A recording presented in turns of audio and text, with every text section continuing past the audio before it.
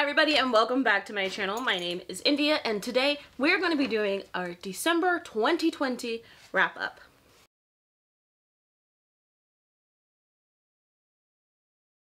Whew, I know we're so excited to wrap up 2020. Shh, it's February when I'm recording this. Um, but I am finally recording this, guys. I actually read books in December. I know. I know, right? Crazy. Crazy. You guys weren't expecting that from me. I know. Love to keep you guys on your toes. But I read some books, so you know I had to pull up the Goodreads to figure out what I read. It's fine. Your judgments don't hurt me anymore. Especially since I definitely don't remember most of the books that I read. Well, that's not true. Some of the books I, I do, do remember. Okay. So, First up, this is just an order of reading. First up was Wait With Me number one by Amy Daws. You know, it's weird. I don't read books out of order in series, but somehow I read book number two before I read book number one. I definitely remember loving book number two, and I'm glad I read book number one because it explained some aspects of book number two that happened in book number one. Anyway, anyway, this is a this is a romance. All I were romances, guys. I'm sorry.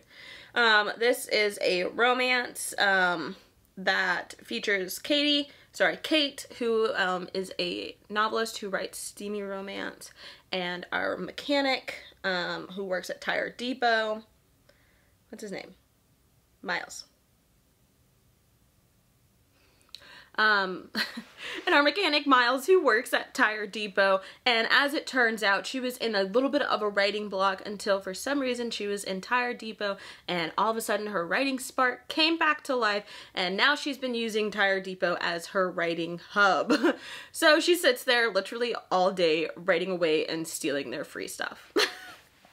anyway, I'm probably not explaining it well but I gave it five stars. I really enjoyed the book. I really enjoyed the relationship aspect of it and watching it grow. Um, I liked the conflict that did arise in this book because um, sometimes conflict can seem because you know in romance there's always at least a conflict this one had a couple of conflicts and I enjoyed them I liked how they were done and um, I didn't feel like they came out of nowhere you could kind of feel it building um, so I I don't know. I, I liked the conflict aspect of it. I liked watching their relationship flourish. I love when couples go off into like their own little adventure and have like, but like that whole adventure just messes up and, and it was just good. Sorry. Um, next up is Unconventional by Aleatha Romig. If you watched one of my tag videos, I think it was think it was my books and bakes tag that I did in 2020. Um, you would have heard me talk about this book. This is one that Steph from Steph's, Uncens Steph's Romance Book Talk um, told me to read a long time ago. I started reading it. It gave me anxiety. I stopped reading it and then I told myself, India ain't no punk. So I wasn't a punk. I didn't punk out and I started to read it again now knowing where it was going to lead my head. Um, and I, I, I enjoyed it. It took a huge turn that I didn't know it was going to take, which is what made it so good. It's short, it's sweet, it's steamy. Um, there's really, it you know, like, it's short, so there could be definitely more steam to it, and but there are, it's an ongoing series. So, um, but I definitely gave it four stars. Um, because I definitely enjoyed it. Um, but it features a woman who is a newscaster and basically she has made her newscasting job her whole life. You know, she can't gain a pound. She has to wear the appropriate clothes, appropriate shoes, seem inviting, seem sexy, but not wanting, you know, all these types of things. And she feels like her marriage is on the line and she's trying to decide if her marriage is even worth um, keeping or what.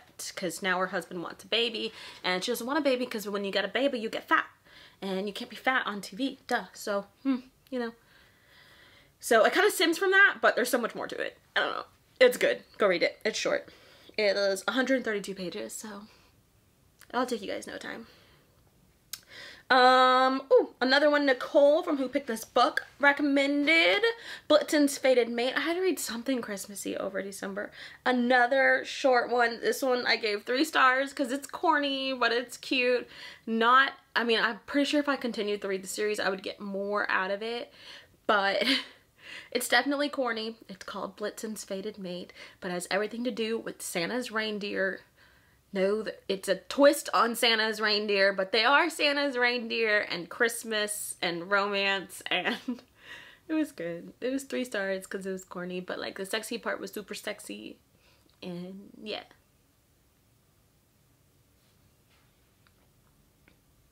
I'm sorry. I'm out of I'm out of practice. Um the next two were both billionaire romances. And I'm not used to having this many books to have to talk about in a wrap up. Woo! the next one was The Stopover, The Miles High Club number one by T.L. Swan. I gave it four stars. Let me see which which one this was. Um, oh, I remember getting into this book and just diving in and just sitting in my bed and just finally and just reading it all day um, because it's called The Stopover because on a flight back to London, a man and a woman end up next, sitting next to each other in first class and sexual tension just spark and flame. And then their plane has to have a layover in a different city. And so you know they're being put up in hotels because of weather on the way back to New York from London. And well where there's sparks, there's flames, and where there's flames, there's hotel sex. And so that is where our story goes, and then it starts there, and then it picks up a year later when some happen, when some choice circumstances um, brings them back together a year later. So I enjoyed it. I loved the tension. I love the tension, the billionaire romance, um, just everything, everything that that it brings. Um, was just super good. Next up is Bared to You, Crossfire num number one by Sylvia Day. I gave this book four stars. So unlike the other billionaire romance, um, this one dives a little bit deeper um, into real life and things like that. Um, this because this one dives into undercurrents of history of sexual abuse and sexual assault um, especially um, as children. You don't see it outright, but you know that it happens, but we don't get the full history as of yet. Um, this one, they meet, of course, by chance, running into each other um, in in a hall in the lobby of the new job where a female lead is going to be working.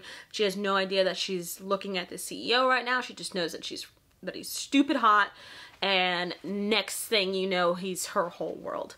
Um,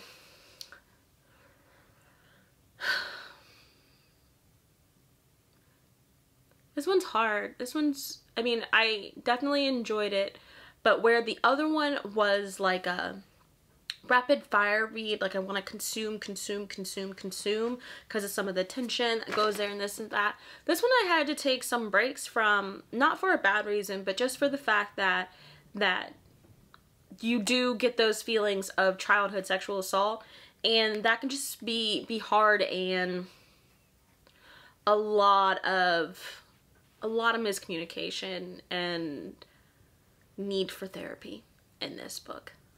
Yeah so, mm, something to think about when you go to read it. I still recommend it. I still enjoyed it. Ooh, and then I read Her Dad's Friend by Penny Wylder. As you might think, this features a daddy kink. Um, of course, okay, for some people don't know, daddy kink doesn't necessarily mean like, like it can just mean like older gentlemen. And so for her, for this story, our main female lead is attracted to her dad's best friend. And and yeah, um, it's romance, so I think you guys know where that's going to lead. And you know, sometimes these daddy kinks, you're like, maybe I need to find me a silver fox. Huh, maybe. Maybe. Because he just treats her so right throughout this book. Just treats her so right. Mmm, wistful. Wistful. Let me stop. Because we're almost done, and I don't have the stamina for these videos, apparently. Ooh, ooh Dirty Kisses, The Lion and the Mouse by Kenya Wright. so good. So good. I don't know. I still only gave it four stars. I think it was how things. Ooh, I don't even know. Like, like I know, like I don't even know how to explain it. Of like how how our main female lead kind of acts, but I love the story. Like I love the story. It's so good. It's a mafia romance, interracial romance, written by a black author and it's dark. Well, it's not too dark. It's not like taboo dark. Um, but it's kinky. There's murder involved. Obviously, it's mafia romance. There's murder involved. There's bombs going off. There's just there's money that needs to be cleaned, and there's sexual tension just everywhere. And then there's like a mysterious past and a mysterious serial killer, and it was just so good. I cannot wait to listen to, because I'll probably continue on Audible. I cannot wait to listen to the second book during Black Author Readathon. So I'm really excited. It was so good. Ah, it was so good. I definitely recommend that one. Like, definitely. It was so good. Eric was like, we're supposed to be decorating for Christmas, and Eric's like, are you gonna come help? I'm like, shh, shh, shh, shh, shh, shh. I, I'm listening to my book. He's like, well, listen to your book over here. And I'm like, oh, calm down, calm down. Calm down. Anyway, guys, that's it. That's it for my December wrap up. so I hope you guys enjoyed this video. It's been a bit once again since I've done a wrap up, I feel like. And it's been a bit since I've had that many books to wrap up about. Um, so I am just not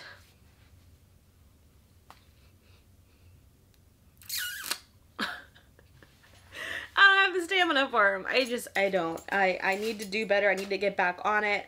It's, you know, but we just, we're getting there, guys. We are getting there. Anyway, anyway, anyway, anyway. Don't forget to hit that subscribe button down below. Hit the bell notification button so you never miss anything. Don't forget to follow me on all the social medias, including my Goodreads, because then you would have seen my reactions and all this kind of stuff about these books when they happened. And until next time, keep turning the pages.